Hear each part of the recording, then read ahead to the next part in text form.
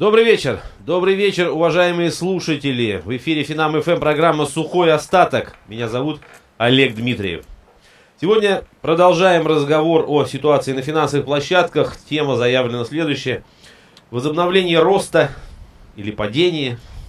Ну, такая, я бы сказал, философская тема. Я бы даже интонационно ее вот так подчеркнул, да? Олег?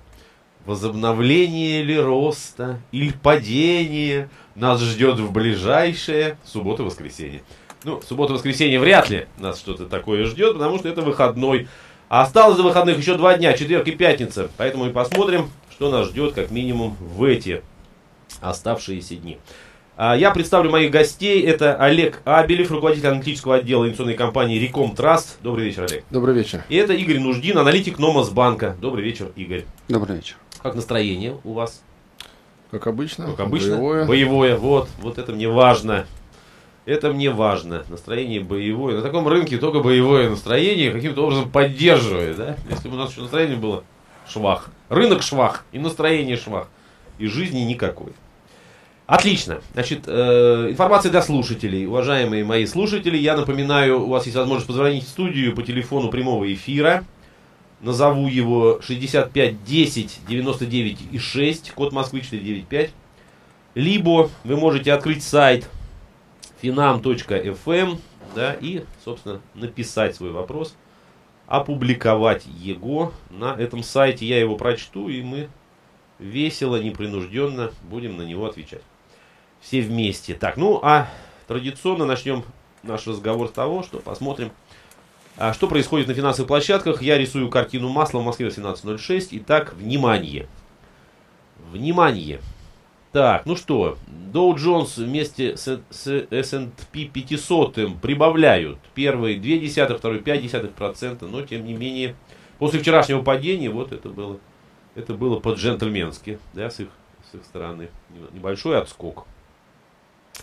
Значит, наши ребята сегодня были скучны, и, собственно, эта скука видна в котировках.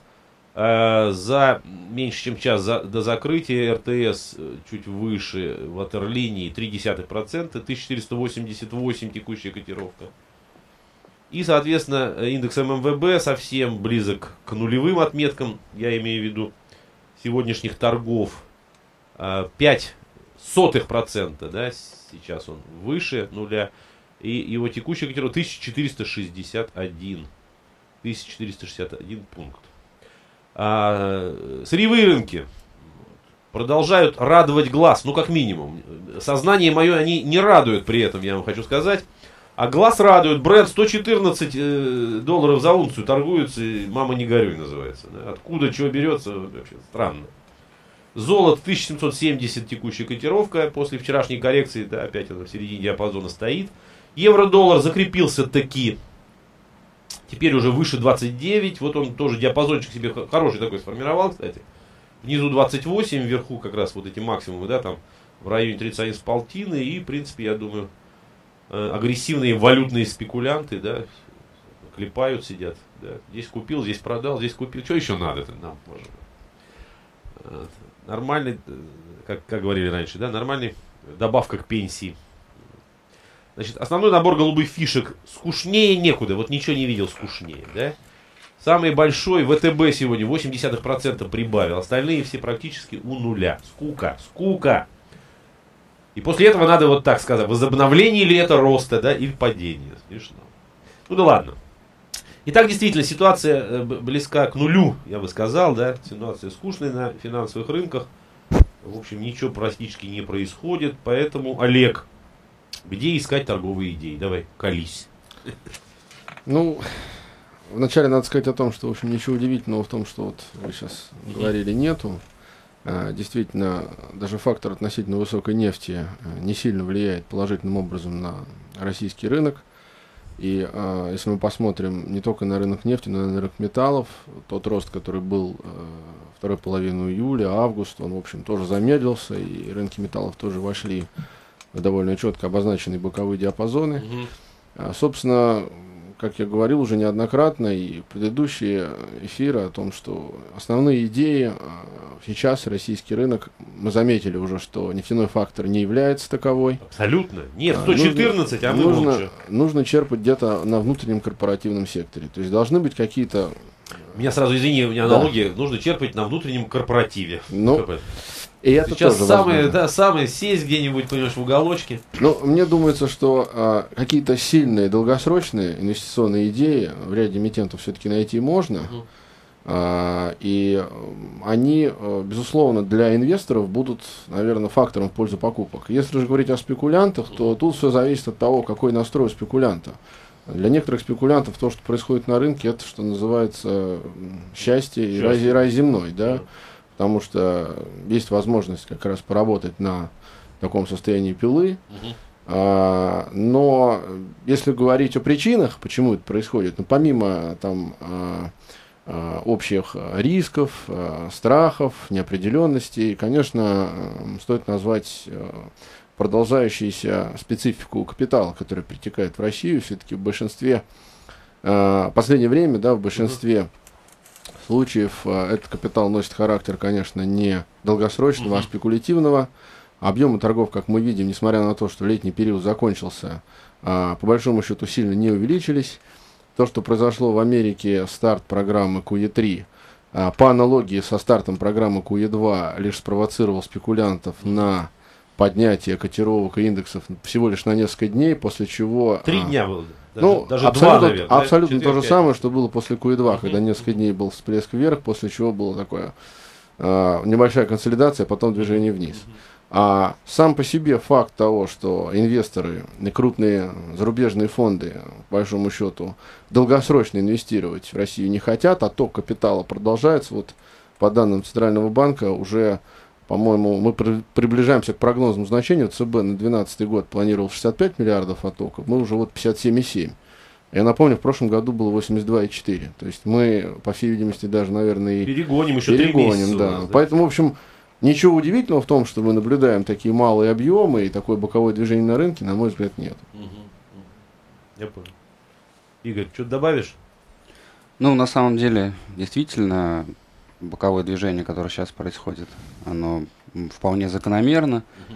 А, Вот, и связано с тем, что, ну, если брать э, глобально, то инвесторы сейчас просто хотят э, понять, а, насколько вот э, те действия регуляторов, которые были совершены, они а, будут эффективны. Да, то есть вот А была как за- они могут понять?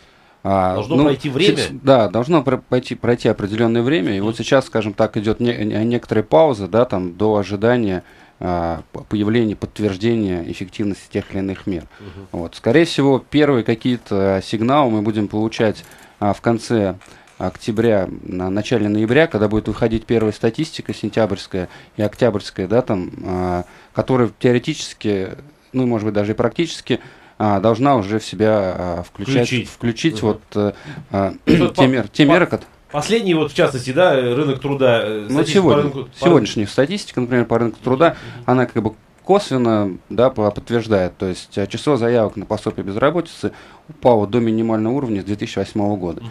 То есть там, в принципе, показатель у них в лучшие их времена, там 2004-2008 год, было где-то порядка 300 тысяч, да, там обращений. Сегодня вот цифра 319, да, там, то есть это туда. Н- Нельзя, конечно, по одному этому показателю сказать, что вот, да, действительно Заработало. все заработало. Соответственно, вот а, набор, на- набор а, сигналов, да, там, а, вот, э, об, об эффективности а, мер поддержки, он да, даст как бы рынку а, направление. Мгм. То есть, если эффективно, если действительно будет какое-то оживление экономики, в принципе, все а, программы, количество, ну, вс- все программы а, поддержки стороны регуляторов, они имели а, эффект на экономику. Вопрос только а, в том, насколько это долго. Вот последние, например, те меры, которые принимались в декабре, там эффект длился что-то в, а, в районе двух кварталов. Мгм. Вот, то есть, в принципе, здесь можно ожидать где-то вот а, такие как бы горизонты. То есть рынок начнет а, какое-то движение а, ориентировочно где-то в, в конце октября, на, на середине ноября. Середина, там, кстати, в начале ноября еще выборы, да? Да, тоже хотел добавить. Да. Согласен с тем, что э, какое-то более-менее сформиров, сформиров, сформировавшееся мнение и угу. суждение по рынку, да и движение рынка мы, наверное, увидим а, после первого воскресенья ноября. Олег, я прошу выборы. прощения, давай мы об этом продолжим. Сейчас послушаем новости на Финам ФМ. Еще раз добрый вечер, уважаемые слушатели. Мы продолжаем. На Финам ФМ программа «Сухой остаток». Меня зовут Олег Дмитриев. Рассуждаем о текущей ситуации на финансовых рынках, что нас ждет в ближайшее время. Обсуждаем также торговые идеи, даем прогнозы. В общем, все как всегда. Точим ножи и ножницы. Это что-то из детства у меня сейчас, из детства точить ножи, ножницы. Там. какой у его по-моему, какой-то был рассказик. Там дядька ходил, да, скрипел и, кричал. Ну да ладно. А, сегодня э, мы в эфире в следующем составе. У меня в гостях Олег Кабелев, руководитель аналитического отдела инвестиционной компании Реком Траст и Игорь Нуждин, аналитик Номас Банка. Добрый вечер еще раз, господа. Итак, значит, давайте продолжим. Собственно, Олег, да, есть что добавить или уже ладно, все понятно? Идей Нет, нету. Ну, По ну, поводу оттока мы начали. Да? По поводу оттока я вот просто хотел сказать, да. Э, продолжить мысль э, насчет того, что действительно, э, наверное, раньше начала ноября в комплексе влияния данных статистики mm-hmm. и ситуации с изменением, возможно, либо там, сильным, либо частичным видоизменением политики регуляторов – Наверное, ждать не стоит, потому что до этого, пока не будет э, известны результаты выборов э, президентских в Америке, угу. первое воскресенье ноября, понятно, что э, больших изменений, наверное, ждать не стоит. А что касается тех событий, которые могут повлиять как-то на рынки, на их поведение, на изменения, возможно, это будет первое заседание ФРС, комитета ФРС после уже президентских выборов, на котором, может быть, будет а, изменены какие-то приоритеты, ориентиры, на которые нам мягко, может быть, намекнут. Все будет зависеть от исхода выборов.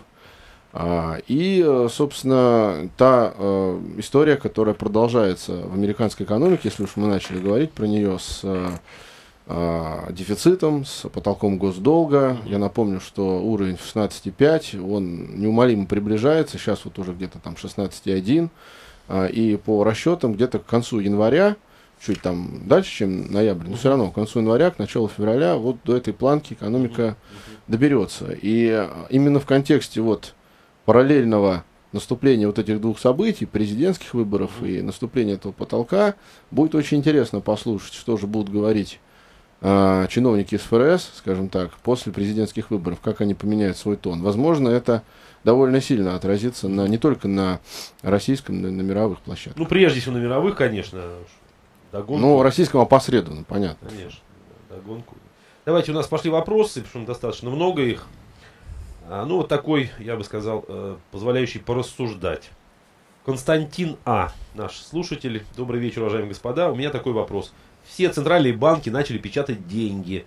А не могли бы вы рассказать механизм, как эти деньги попадают в реальную экономику? Ну или, в принципе, как все этот механизм работает? Игорь.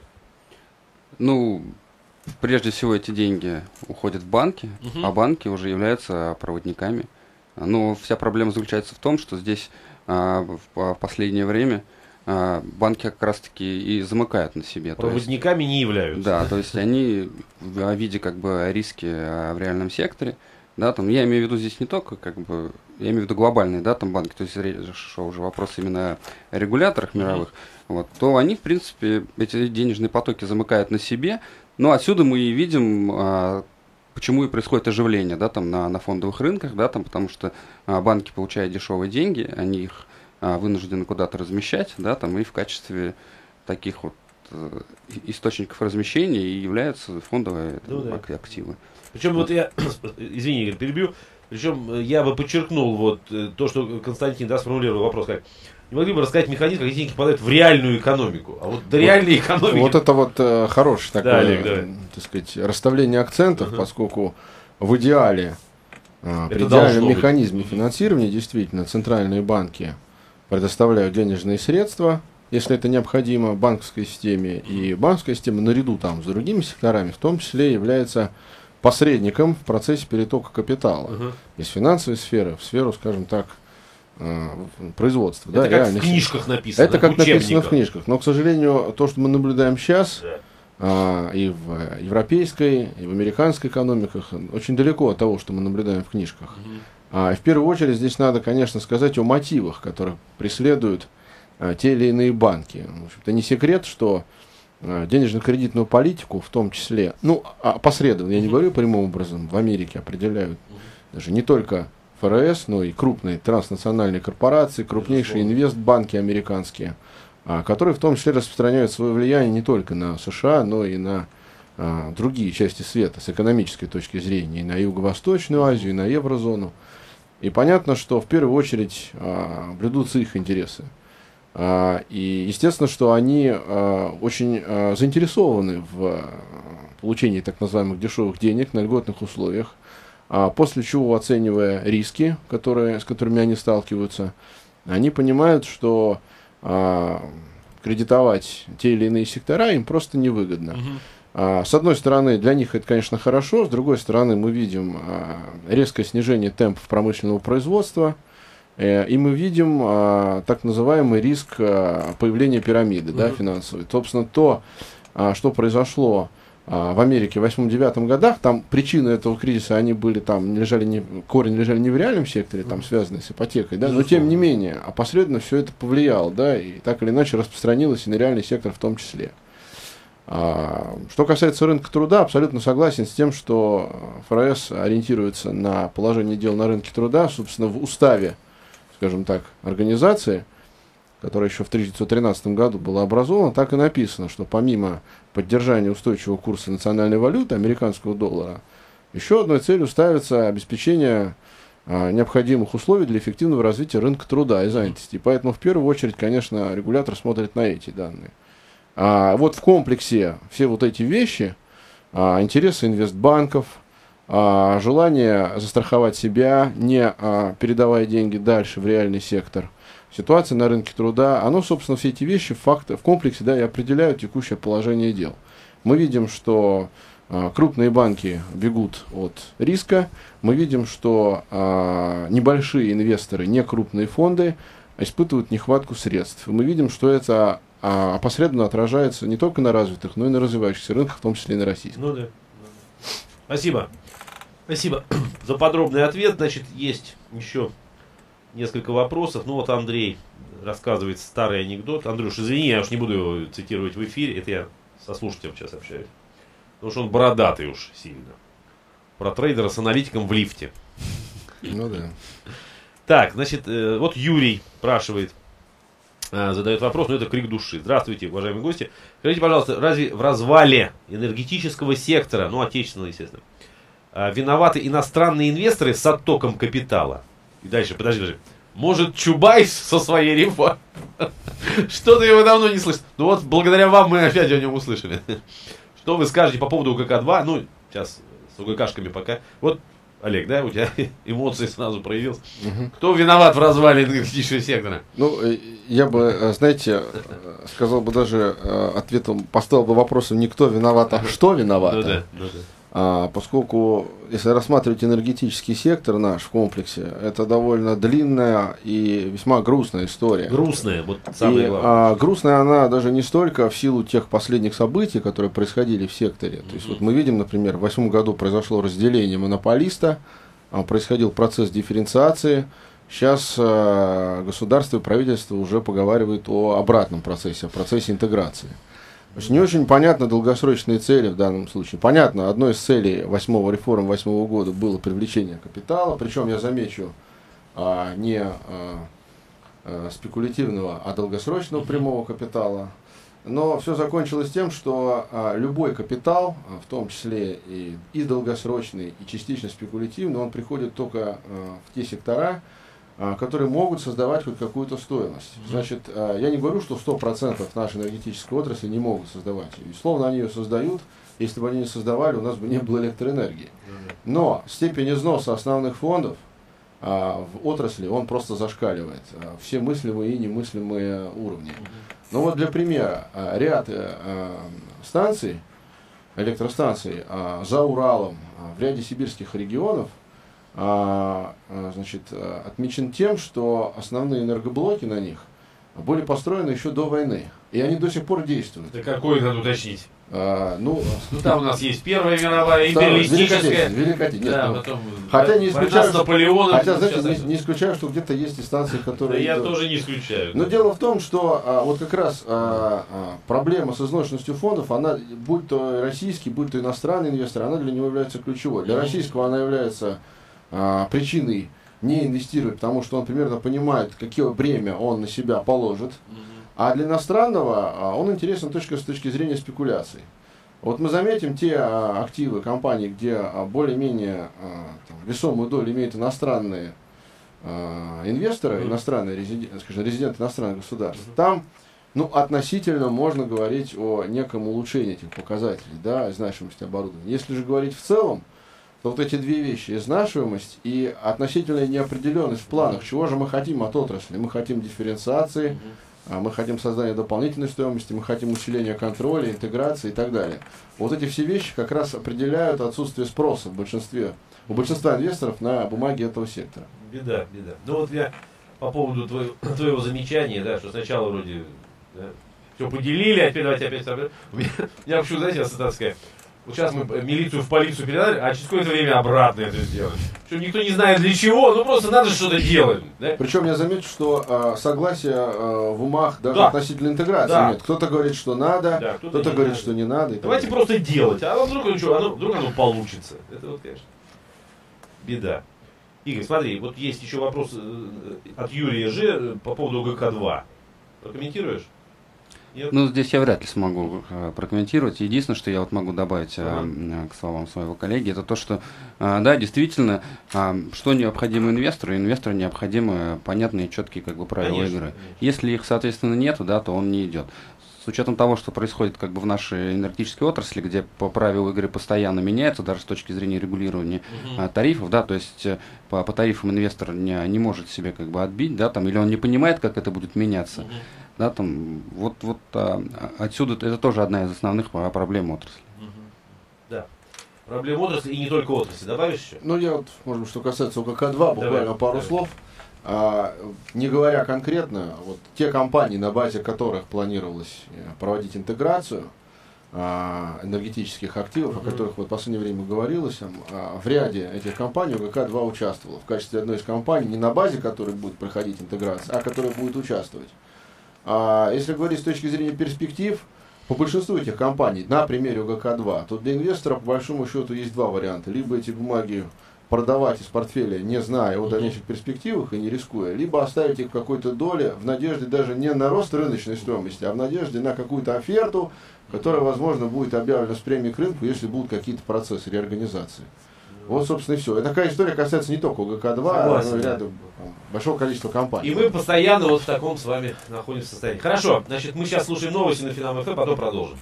Ну что ж, уважаемые слушатели, продолжаем наш разговор. На Финам ФМ программа «Сухой остаток». Меня зовут Олег Дмитриев. Ну и обсуждаем ситуацию на финансовых рынках. Давайте начнем сразу с вопроса. У нас есть звонок. А, Ждет наш слушатель Владимир. Соответственно, сразу же и говорим. Владимир, добрый вечер. Вы, в- вы в эфире говорите. Добрый вечер. Мгм. Хотел вопрос такой задать. Вот с- сегодня, по-моему, да, S&P понизила Испанию рейтинг на, на два пункта. Вот осталось еще там одно агентство Moody's. Я понимаю, что сейчас как бы после 2008 на рейтинге агентств э, уже никто не реагирует. Ну, не А, факт, всё. не факт. А, ну все же, да, вот э, как бы сейчас так э, особо никакой, причем на две ступени, и вроде как никакой особо сильной реакции нету. Но все-таки, мне кажется, не может пройти мимо так уж прям, чтобы совсем никто не... Не Вот, если можно, да, это- вот эту тему, чем Хорошо, грозит Владимир. это, что-то, что как вообще. Спасибо за вопрос. Спасибо. Давай. Ну, э, я думаю, что эту новость стоит рассматривать не отдельно, да, а в контексте вот следующих событий. Как мы знаем, сейчас вопрос об обращении Испании а, фонд стабильности вот за помощью денежных средств, которые должны из фонда Мгм. ЕС быть выделены, он как раз будет решаться в ближайшее время. А, И в том случае, если все-таки сторона не обратится или средства не будут предоставлены в должном объеме, тогда эти две новости в комплексе, они как-то сыграют. А в целом, что касается... а, Извини, пожалуйста, Да. я, я таким образом э, почему-то захотел порассуждать. Действительно, Да. Испания никак не обращается. Да? Ей уже говорят, ну обратись. Нам надо проверить, как ESM-то работает. Она никак не обращается. Они нарисовали бюджет, он хороший. Тут выходит МВФ, помните, да? И говорит, не, а вы что-то там нарисовали не то. Вы нарисовали, что у вас будет снижение на 0,5 ВВП процент, да? А мы вам говорим 1,3. Она говорит, вы неправильно считаете, да, испанцы говорят. Тут раз, ребята подсуетились, рейтинга, говорят, Испания, у вас, вот смотрите, мы вас на две... Может быть, в этом направлении? Вы знаете, тут вот то, о чем вы сказали, да, а, здесь очень такую большую роль играет роль прецедента. Uh-huh. То есть пока, а, собственно, самих фактов обращения не было, вот, допустим, будет первый факт. Uh-huh. Очень внимательно нужно относиться к различного рода критериям, которые дадут возможность стране обращаться. Допустим, вот сейчас Испания обратится гипотетически, я не знаю, там, чем это закончится. Через какое-то время э, ее примеру захочет последовать кто-то еще из проблемных наверняка стран. Причем. Но наверняка возникнет желание у представителей этих стран, несмотря на большое количество наблюдательных органов, каким-то образом этим критериям начать соответствовать. Я вот напомню э, историю с э, даже вступлением в стран э, в зону евро этих проблем. Uh-huh. По ряду стран-то э, критерии, мягко говоря, не были соблюдены, ну, да. когда зона евро создавалась. Что, собственно, за что сейчас еврозона частично и расплачивается. Поэтому эти все вещи нужно рассматривать в комплексе, я думаю. А рейтинговые агентства, они, по большому счету, действуют, ну, а, глобально они действуют сообща. Есть три основных агентства, которые примерно смотрят на а, поведение друг друга и определяют основные, скажем, моменты, на основании которых можно опереться там, в выставлении того или иного рейтинга. И если глобальный тренд идет в какую-то иную сторону, то второе там агентство или третье, я имею в виду из глобальной тройки, оно никогда не последует Назови их всех троих. Fitch, Moody's, S&P. При том, что есть ряд других не крупных агентств, которые чаще идут в разрез а, с мнением основных трех. Но просто их мнение не столь активно афишируется. Но хотя, не поэтому и в разрез, да? Хотя, надо хотя, нам хотя надо... интересно, например, о них, а, их, так сказать, коммунике почитать. Например, американское агентство Egan Jones или uh-huh. китайское агентство а, рейтинговое. Uh-huh. Я думаю, что это было бы гораздо интереснее как бы в комплексе оценить. Хотя, тем не менее, политика, она очевидна и понятна. Ну, на самом деле, угу. так похоже на шантаж действия СНП, да, там. Ну вот что, я тоже, да, мне что, показалось. как бы не хотите, а стимулирует, а вот этим стимулирует Испанию на, за, за обращением да, да, да. к финансовой помощи. Но какая здесь может быть логика? А если э, Испания не обращается за финансовой помощью, да, там у нее те проблемы, которые сейчас есть, они начинают как бы ухудшаться, угу. а, растет стоимость ее а, долга на рынке, а, становится более дорогое привлечение для страны, угу. отсюда ее, соответственно, кредитоспособность снижается, потому что ей, соответственно, надо больше а, уже выплачивать. Вот. И отсюда как бы действие S&P по снижению. Угу. Если Испания обращается за финансовой помощью, здесь автоматически а, включается по программа ЕЦБ по выкупу, по, по выкупу а, гособлигаций страны. Теоретически это, возможно, повлияет на, на доходность, да, там она не будет так сильно скакать, потому что ЕЦБ именно по этой причине угу. приходит. И вроде бы как Испании должно быть полегче. Ну, в этом случае логика понятна, да, и действительно, если вот, рассуждать, о последних событиях с точки зрения провокации какой, да? Давайте берите, давайте берите. Ну, это на благо, во благо же стараются ребята, во ну благо. да. Причем, я думаю, что вот такую... А зачем испанцы упираются тогда? Они же предлагают... Ну, смотрите, здесь тоже логика понятна. Все мы видели, что было как бы с Грецией, когда она обратилась за финансовой помощью. Сразу резко закрутили им все гайки по, по бюджетным расходам, по всему, по всему. С учетом того, что Испания это далеко как бы не Греция, ну, да. и там достаточно большое количество автономий, и, и население у них достаточно горячее, да, горячее, там это, да. это может как бы обернуться не, не очень хорошими э, проблемами, ну, не, не очень ну, хорошей дальнейшей ситуации для страны. власти Испании таким образом, каким Они немножко, мне кажется, побаиваются. Они побаиваются, да, действительно, вот а, обращения, потому что для них тогда точно включатся жесткие меры как бы экономии, mm-hmm. из-за которых будет следить тройка неустанно, ездить, проверять. Вот они немножко побаиваются контроля. Еще один момент, который тоже хотел добавить, сравнивая Грецию и Испанию. Если мы говорим о том, какие пути есть, ну, реально у страны, даже когда она получает финансовую помощь, все-таки когда-то отказаться от этой помощи, каким-то образом попытаться выйти из долгового кризиса. Uh-huh. Это наличие возможности а, притока капитала. То есть а, в данном случае, если есть какая-то какая промышленность, реальное производство, благодаря экспорту каким-то образом размер долга а, уменьшить. Если мы сравним Грецию и Испанию, то понятно, что здесь производственные возможности у двух стран а, разные. Абсолютно, да. Вот, поэтому это тоже фактор, а, который, может быть, пока немножко сдерживает mm Испанию обращаться за помощью. Я понял, спасибо. Еще один вопрос от Константина. Вот его заинтересовал, в принципе, сегодня, да, действия центральных банков, и он просит, ну, если можно, коротенько, э, просит объяснить, в чем разница между QE3, ну, или программой количественных смягчений, да, как и операцией твист, хотя формально она примерно то же самое, да? Олег. Ну, а если э, говорить э, конкретно, то все-таки не совсем то же самое. Ага. Если мы говорим о КОЕ-3, собственно, почему такое название изначально? А, Количественное смягчение. Благодаря увеличению объема денежной массы, благодаря тому, что количество денег в экономике увеличивается, Ага. там, а, стимулируется возможность, улучшается, скажем так, временно а, финансовое состояние участников экономики, и стимулируется их, а, скажем так, их стимулирует к взаимодействию, к каким-то совершению каких-то сделок. А что касается твист, то это а, по большому счету замена одних долгов на другие, то есть краткосрочных а, бандов на долгосрочные. А, С точки зрения регулятора, собственно, оборачивается, почему называется твистком, да, оборот, то есть э, идет замена, некоторая подмена. А, С точки зрения влияния на а, финансовую систему, а, по большому счету цель одна у обеих программ, но только немножко разные сами по себе механизмы. И объемы, объемы средств, на, которые это, на, на которых эти программы строятся, они тоже немножко разные. Все-таки а, реально QE3 означает непосредственный вброс денежных средств в экономическую систему. Ну, то есть Q3 это такой как бы удар широким фронтом, да, твист это такой более как бы точечный. Локальный. Локальные такие. Я понял. Хорошо, спасибо огромное. Еще один вопрос от Никиты. Значит, Никита у нас спекулянт на форте торгует э, фьючерсом на доллар-рубль. И пишет, не дает мне покоя. Не дает мне покоя ситуация в доллар-рубль. РТС может ходить на 2-3 тысячи пунктов. А э, фьючерс на доллар-рубль стоит на месте 31,50. Про нефть вообще молчу. Причем объемы не самые маленькие в этом бокове. А открытый интерес не изменился. Второй половине. Кто держит рубль? Ну и дальше крики его души здесь. Кто, скажите, кто? Надоело. Это все Никита пишет. Кто держит рубль, Игорь? Я так понимаю, Никите волатильности не хватает. Ну, безусловно, что, видишь, он стоит, наверное, как вкопанный, а Никита спекулянт, он хочет денег заработать, скорее. Ну, вообще, как бы для валют э, свойственна не очень высокая волатильность относительно как бы индексов акций Мгм. и сырьевых активов. Это как бы э, первое, поэтому мы, наверное, все-таки не увидим, да, там большой как бы волатильности а в рубле, если не будет каких-то таких, э, да, конечно. каких-то мощных как бы потрясений. А, вот. А, Ну и в принципе всегда как бы работая на российском фондовом рынке, на российском рынке с рублем, а, у нас есть как бы наш ЦБ, который как бы в любой момент может как сверху, так и снизу стукнуть. Да. Хотя сейчас он и достаточно сделал широкий коридор, Ну и да, в принципе на рынок как бы, и- и на рынок как бы не, не, не особо идет. Но все равно этот, этот момент он есть. Мгм. То есть на вопрос, кто держит рубль, ты бы ответил ЦБ. Нет, я бы Нет, так не ответил. ЦБ в данном случае... Не, не держит абсолютно. Я тоже со- согласен, абсолютно никакого прямого, э, так сказать, э, влияния действий ЦБ на курс рубля, тем более рыночный, нету. Да, ЦБ последний раз э, не оставил ставку рефинансирования, собственно, без изменений.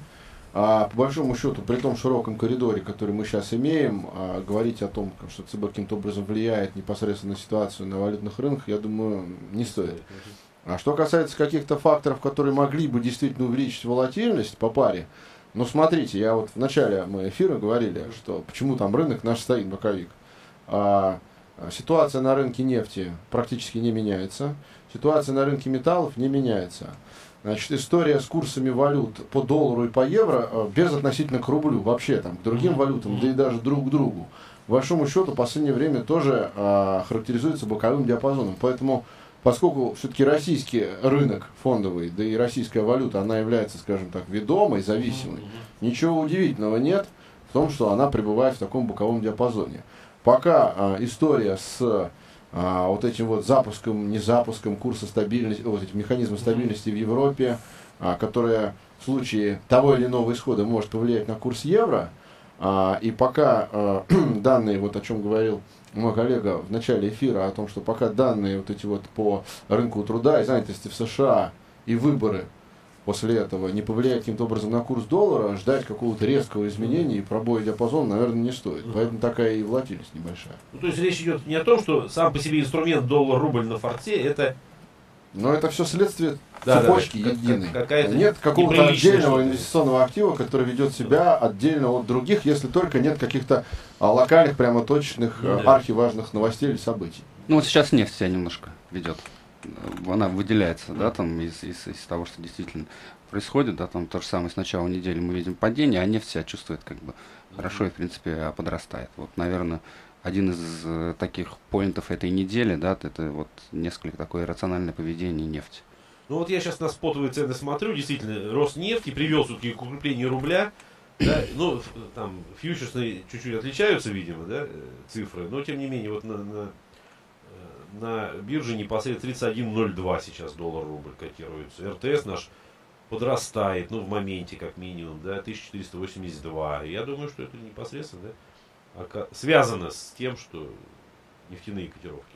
Ну, хотя это все-таки достаточно Прибавили. локальные изменения. Ну, безусловно, да. конечно. Это если не, мы, если... это тренд, мы не, не говорим о Да, этом. если посмотреть на график нефти, да, за последние там, несколько месяцев, мы четко увидим установление в боковом диапазоне. То же самое по рынку золота, скажем. Да, да везде практически. Вот, поэтому тут все в русле как бы одной тенденции идет.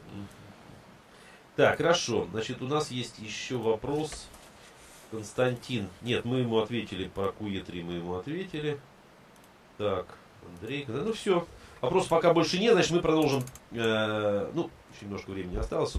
Давайте я напомню. У нас сегодня разговор о том, что ждать в ближайшее время от рынка.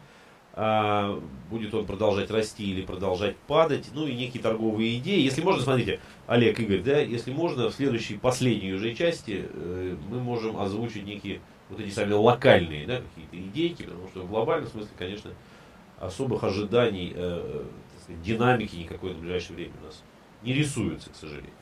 Ну что ж, еще раз повторю, значит, после новостей, которые мы слушаем, продолжаем и подводим итоги нашего разговора.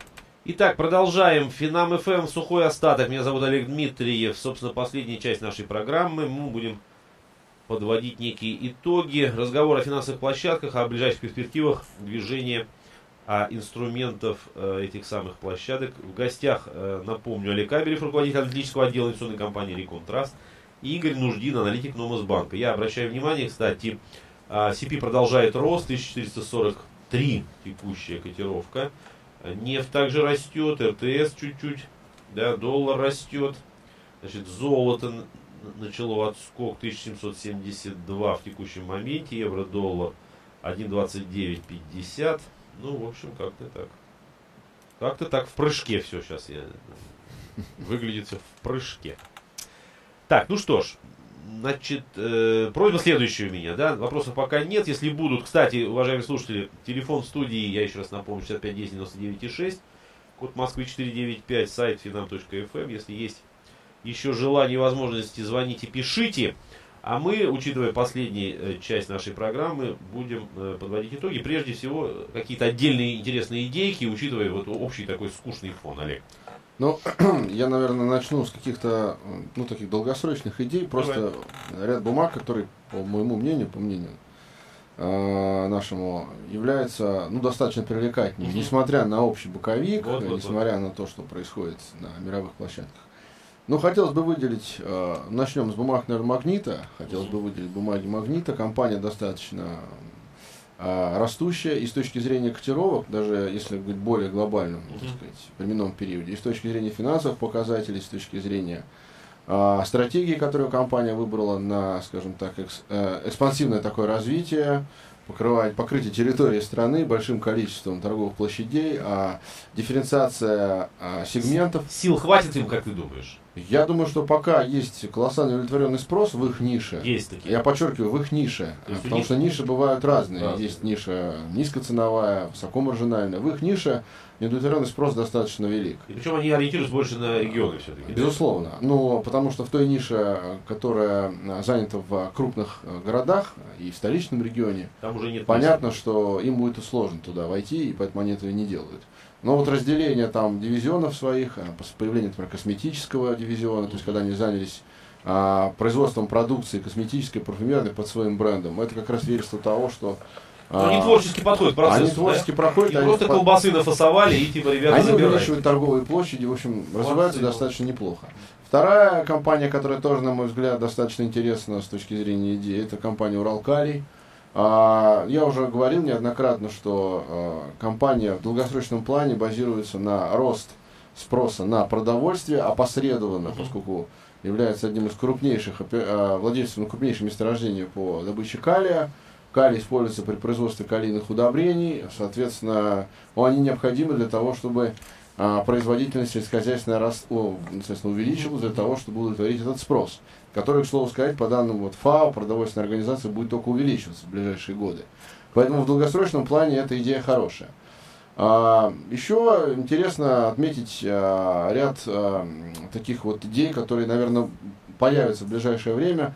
Вот мы с вами говорили о о том, что на рынке пока идей нет, но вот все-таки вот этот период сейчас характеризуется тем, что ряд компаний, несмотря на общую такую достаточно неопределенную ситуацию на рынке, решился на проведение IPO. Вот сейчас у нас Промсвязьбанк, сейчас у нас Мегафон да, да, планирует да. это делать. По всей видимости, просто э, многие отчаялись ждать дня лучшего, и по принципу лучше синица в руках, все-таки решили проводить IPO сейчас. Угу. Вот если говорить о Мегафоне, а, вот Сбербанк, кстати, достаточно неплохо. Правда, там львиная часть капитала была представлена международным рынком, но тем не менее.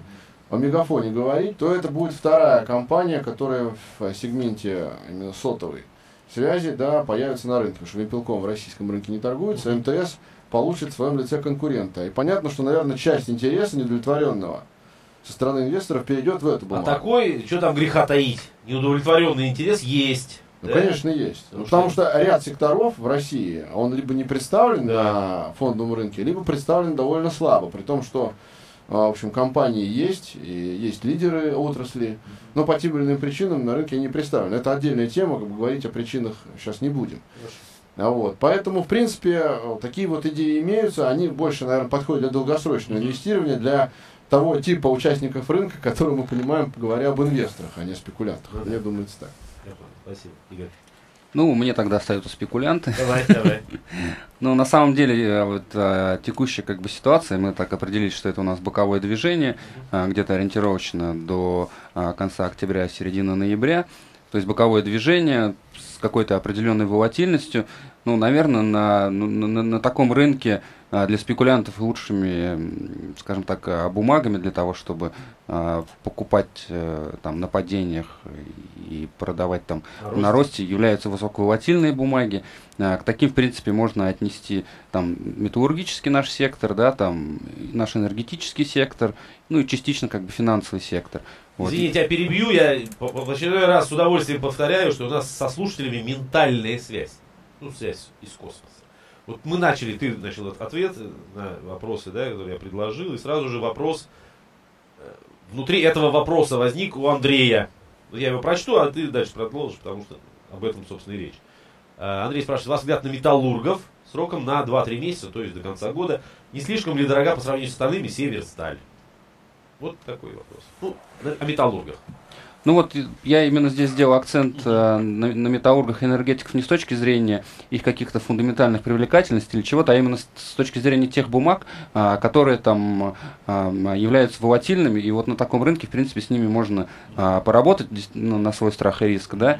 Вот если выделять самые, как бы, такие волатильные, то это и среди металлургов это Мечел, uh-huh. а вот а среди энергетиков это, наверное, там холдинг МРСК, вот э, как-то вот если с точки зрения спекулятивных. Спекулятивных, да. А вот если с прицелом уже ближе к концу года. Ну, если говорим, о, если говорим о металлургах, то э, там на более длительном периоде я бы, наверное, Мечел не стал бы сюда включать из-за угу. того, что компания ну, испытывает достаточно короткий, большие не, не, да, проблемы. Конечно. А если чуть более длительный период, то, э, наверное, э, те компании именно в металлургическом угу. секторе, которые обеспечены ну, такими законтрактованными, скажем так, рынками сбыта. Там, частично, к слову сказать, Северсталь, а, НЛМК угу. а, и отчасти Норильский никель, но лишь отчасти, поскольку динамика его, а, цены его акций зависит от того, что происходит на рынке драгоценных металлов цветных. Угу. Вот. Но сейчас пока там такая боковая ситуация, и бумага на своих локальных минимумах за последнее время сейчас находится. В принципе, ее можно приобретать, наверное, больше с точки зрения спекуляций. Uh-huh. А что касается там, Магнитогорского металлургического, наверное, бы не рекомендовал по причине того, что пока финансовые показатели ну, не позволяют говорить там, о долгосрочном инвестировании. Ситуация с необеспеченностью сырьем, она остается. Срыв сделки по покупке сырья в Австралии на лицо. Это все, в общем-то, повлияло на бумаги. А, вот, не знаю, я бы металлургию пока с точки зрения долгосрочного там инвестирования, даже там Не на срок 3-4 месяца, ну, каких-то больших, э, сильных идей я пока э, не вижу. А, Вижу идеи в м, телекоммуникационном секторе, помимо того, о чем я говорил, помимо бумаг Мегафон, никто не отменял а, а, интерес к бумагам МТС и к бумагам Ростелекома. Ростелеком, по сути, единственная компания, представляющая фиксированную связь на российском фондовом рынке. Причем и привилегированные обыкновенные бумаги достаточно ликвидны. А, Можно спекулировать как на привилегированных, так и на обыкновенных бумагах. Можно под дивиденды а, покупать. И еще одну важную вещь я хотел бы сказать в завершение. А, многие компании российские, несмотря на общую неопределенность на рынке, а, стали довольно большое внимание уделять вопросам своей дивидендной политики. Многие компании стали пересматривать уставы, а, и многие компании решили выплачивать не только годовые дивиденды, имеется в виду из голубых фишек, да, но и промежуточные дивиденды за какой-то там период времени. Ну, они уже сами определяют какой. А, и поэтому, а, в принципе, возможность э, для там, возникновения спроса в тот или иной период на, для эти- на эти бумаги, она увеличилась. Ну, то есть причина в чем вот эти самые компании пересматривают уставы? Они того, пытаются таким образом привлечь спрос, ну, опосредованно капитал, хотя мы понимаем, что для розничных миноритариев, а, для- с точки зрения компаний, вопрос не стоит в притоке капитала глобальном. Скорее, имидж а, финансовой компании. а, Ну, дивиденды все-таки это розница в основном, наверное, Ну, конечно. Ну, правильно? Ну, все зависит от пакета, конечно, Ну да. но для миноритариев, конечно, безусловно. Это фактор очень э, важный, и в отличие от, скажем, э, рынков развитых, э, где вопросам дивидендов уделяется достаточно большое значение, до поры до времени российские эмитенты достаточно успешные, у которых достаточно большие суммы прибыли образовывались в результате там, отчетных лет, они либо вообще не направляли их на дивиденды, либо направляли малую часть. И таким образом сформировалось такое представление у инвесторов, что на рынке есть ряд, скажем, дивидендных бумаг, Вот. по которым относительно высокая доходность, и ряд остальных. Ну, мы так их и называем, собственно. Ну да. Ну, сейчас, да, действительно смотрят на бумаги, которые платят э, дивиденды. И это еще связано с тем, что, как было правильно отмечено, у компании прибыль есть, прибыль растет, но при этом не растет капитализация. И отсюда получается, что при нерастущей капитализации и растущей прибыли хорошая дивидендная доходность. Кстати, вот в этом случае я, собственно, соглашусь с вами, да, вот это вот переориентация на дивиденды с точки зрения глобальных, ну, я имею в виду наших старших братьев, да, это выглядит таким.